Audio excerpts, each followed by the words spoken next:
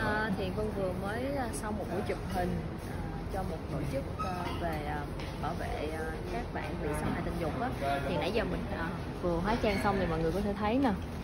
Thì giờ mình à, sẽ à, về nhà và mình sẽ chọc mẹ mình. Và mình nói mình bị té để coi mẹ mình sẽ như thế nào.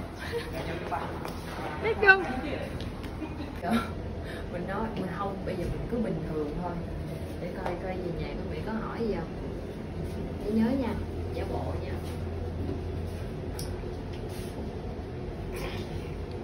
Một là ghen chửi hai là sao ta? Ê, có khi nào mẹ mẹ lên mẹ bị cao huyết áo không ta? Mẹ nhìn mặt sao mẹ lên tăng xong chắc chứ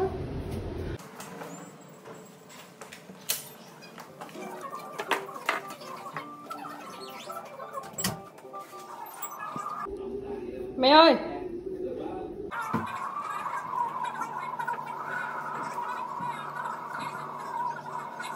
Nhiều mày thế nào không?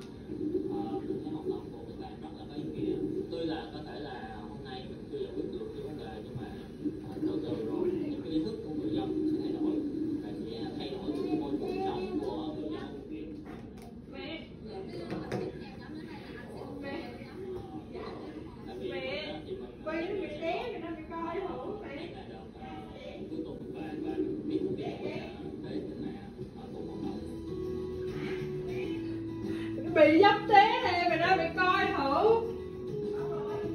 Ngồi vậy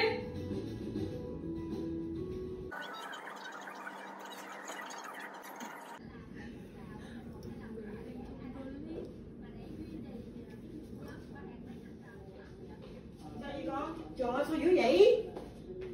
Sao té cái gì con? Hả? Sao dữ vậy? Trời ơi, sao vậy? Sao vậy con? Chắc cái gì? đi con thấy cái thềm con không biết chấp tí Trời ơi, chết rồi Sao vậy? Có sao không con? bây giờ đợi để nó đỡ đau xong rồi chui Trời ơi, sao dữ vậy con? Chắc cái gì dữ vậy? Hả? Chắc cái gì dữ vậy con?